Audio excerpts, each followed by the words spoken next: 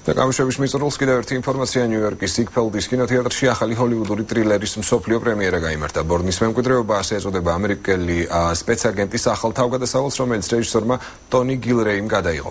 წინა სერიებისგან განსხვავებით ფილმის ისტორია ამჯერად ჯეისონ ბორნის ნაცვლად სხვა აგენტის აარონ კროსის ირგვლივ ვითარდება, რომელსაც მსახიობი ჯერემი რენერი ასახიერებს. ფილმში ყველა პერსონაჟი შეცვლილია წინა ეპიზოდმა მეტ დეიმონის მონაწილეობით პროექტს მილიარდი დოლარის შემოსავალი მოუტანა. Treadstone without the inconsistency.